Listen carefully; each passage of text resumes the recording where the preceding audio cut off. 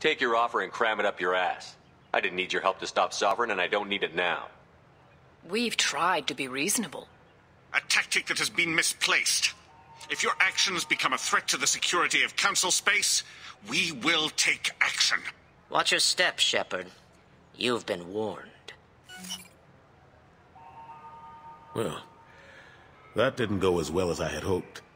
Bureaucrats and politicians aren't going to stop the Reapers. True enough. Don't worry about the Council or the Alliance. I'll find some way to keep them off your back. Shouldn't be too hard.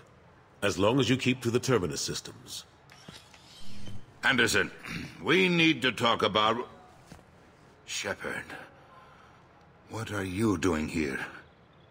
Not used to seeing ghosts, Udina?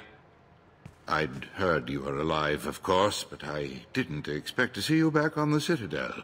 I invited Shepard here to speak with the Council. We just finished our meeting. You went to the Council behind my back. Do the words political shitstorm mean anything to you? I didn't just meet with the Council.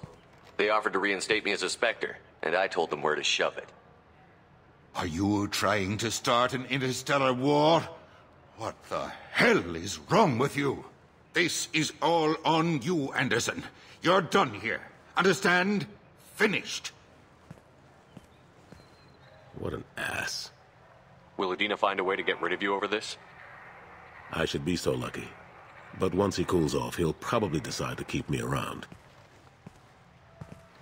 Besides, the Council won't have any official records of our meeting. And they won't want to go public with the results. If I get fired, people will ask questions. So he'll keep me on and just sweep this whole mess under the rug.